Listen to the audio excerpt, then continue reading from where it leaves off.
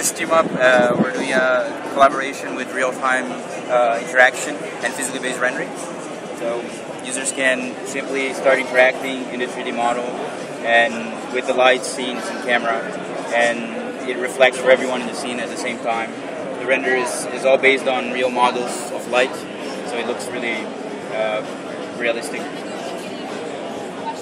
Here I'm moving a light, you can change the color of the car, you can change the, the viewing angle, and multiple users can see in multiple devices.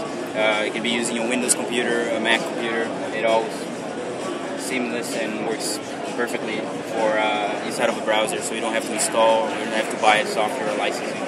And you guys said you could also do this on an iPad as well, correct? Yes, we run also on an iPad, we have an iOS app, and we also run an Android tablets with Chrome.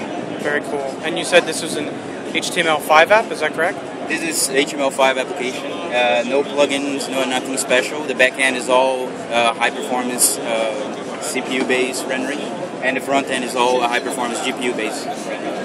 So it's Okay. just using hardware. And yeah, so the interaction is real time, and you can get your clients to see what you're working on. You can get your collaborators to see what you're working on. Um,